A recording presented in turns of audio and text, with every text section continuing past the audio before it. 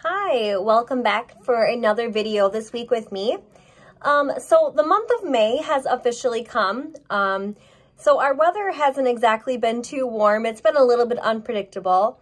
Um, but living in Michigan, we most definitely have become used to that. Um, so what I want to do is just talk a little bit about the month of May and just some of the lesser known things about the month of May. Um, and hopefully you'll be able to learn something new. So I'm just to go ahead and jump right into all the information I found. So May is actually the third and last month of um, the spring season. So May is actually known as the month of transition. Um, most of the time when May comes, the weather begins to start getting warmer um, and the springtime rain has, for the most part, been um, come and gone. Um, like I said, we're having some odd weather this year now that May is um, here, we're definitely getting more rain, um, which is okay. There's not much we can do about that. So the month of May is actually um, named after the Latin word Maius. Um, so this actually goes back to the ancient Greeks. The ancient Greeks actually used May to honor their goddess, um, their Greek goddess of growth and fertility. so growth and fertility is also already associated with spring. Um, a lot of times baby animals are born, a lot of babies are born, and everything starts getting green and growing, right? So May used to um, actually be called a different name in the Old English times.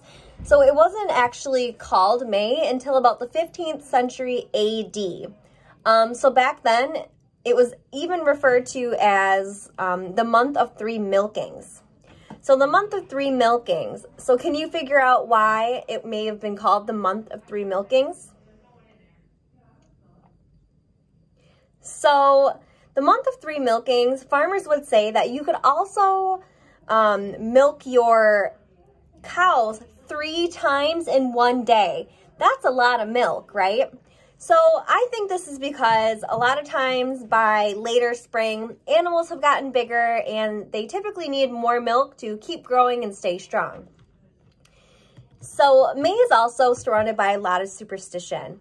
Um, there's a lot of little sayings and things about May that you may have heard. Um, so they say that you should never get married in May, that it's a terrible time to get married in May. Um, even though it's a very beautiful season and it tends to be warm and nice and things are in full bloom, um, people still say that. So there's actually a saying that says, um, marry in May and you'll rue the day. So it's kind of a warning. I'm not sure why they said this, but there must have been a good reason back then.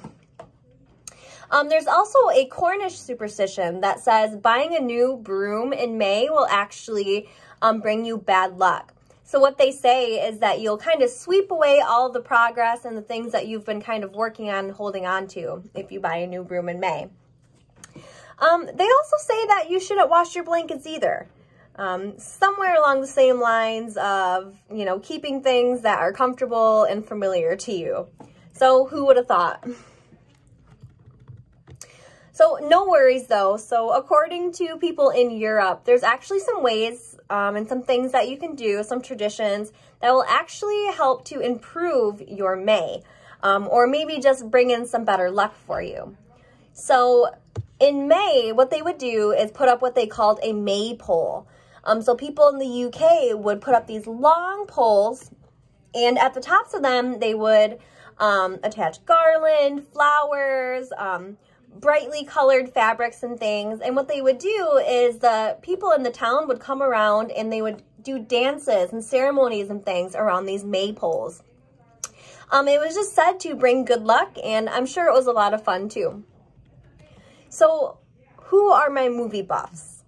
Um, I don't know about you, but I typically enjoy this movie in particular. So, May, if you are a Star Wars fan, is typically the month that is a special time for um, fans worldwide. Um, so you may have been told um, on May 4th, May the 4th be with you. Um, so it's kind of a play on words. In the film, they actually say, May the Force be with you. So what the Force is, is kind of like a magic. Um, that the Jedi's, which are like their warriors, are able to use to move things and do just amazing things. So May 4th um, is May the 4th be with you, kind of like May the Force be with you, like what they say in the movies. Um, so that obviously is um, made up, right? That's cinematic um, productions and things. Those aren't real. Somebody thought that up and made a wonderful movie out of that. Um, but May actually is kind of associated with things going on in space. Um, so in 1870, there was actually a meteor shower observed um, called, ooh, let's see if I can get this one right, Eta Aquarid. So this um, Eta Aquarid, discovered in 1870, was a meteor shower that only passes Earth between April 19th and May 28th. Um, so the best time to get a glimpse of this is actually just before dawn. Um, and people say the closer you are to the equator, um, the easier it is to actually see the comet. So it's pretty amazing. I've never seen a comet myself, but I can imagine it would definitely be a sight to um, definitely see and to hold on to. It probably makes some good memories. So anybody born in May, what does May say about you? Um, so it said that people that are born in May have a greater chance of being more successful in life and are better with experience in love. Um, they often like to show more love. Um, so this is not like a scientific thing. There's no science behind this. Um, but it does say that people born in May tend to understand the importance, the importance of love for others um, and just the importance of being successful. So I think a lot of people know that love and success is important, but for whatever reason, it is more important and dear to um, a person's heart that is born in May. So people born in May actually have an emerald um, birthstone. So the emerald birthstone is actually green in color. Um, like any other birthstone, there is some variation, some of them being darker, lighter, and things like that. Um, but the emerald is a very dark green um, stone. You may think of, for comparison, the Emerald City, if you've ever seen um, The Wizard of Oz. It's a dark colored green, right? Um, so it has been always associated with fertility and rebirth, um, which makes sense. A lot of times when things start turning green, well, it means that things are coming back to life, right? Um, so also, May has two zodiac signs, which are the Taurus and the Gemini. So people born under the Taurus sign are said to be very ambitious and smart and even trustworthy.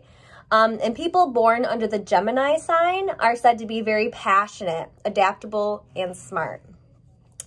Um, so I must say that I do think that these things are true. Me personally, I have four um, birthdays in the month of May in my family, and they actually do describe those people that I'm close with. So thank you guys so much for joining me for a little info about May. Um, hopefully you're able to learn something new and if you like this video, please like it. And as always, we're looking for comments um, to see what people would actually like to see in the future. I most definitely hope you guys enjoy all of my videos and hope to keep things interesting.